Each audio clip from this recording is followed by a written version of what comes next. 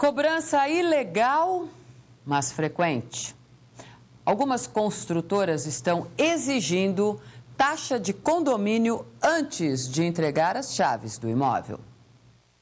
O sonho da casa própria trouxe a Breno muita dor de cabeça. A obra atrasou e quatro meses antes de receber as chaves do imóvel, ele teve que começar a pagar o condomínio. Bastante entristecido com você receber um, um tentar realizar um sonho e ter esses empecilhos para conseguirmos. O Sindicato da Habitação diz que a cobrança é ilegal. Para o condomínio existir, é preciso que a construtora faça uma assembleia com todos os compradores. E isso deve ser depois da liberação do habite e antes da entrega das chaves. Não houver a reunião, legaliza aprovação pelos, pelos interessados da instalação do condomínio, não há condomínio, então ninguém pode cobrar nada. Só nos últimos dois anos, esse tipo de cobrança ilegal aumentou 114%, segundo o Instituto Brasileiro de Estudos e Defesa das Relações de Consumo. E por causa da falta de informação da população, apenas 5% desses casos foram resolvidos na Justiça. Para esta advogada, a cobrança é uma maneira das construtoras diminuírem os prejuízos com o atraso das obras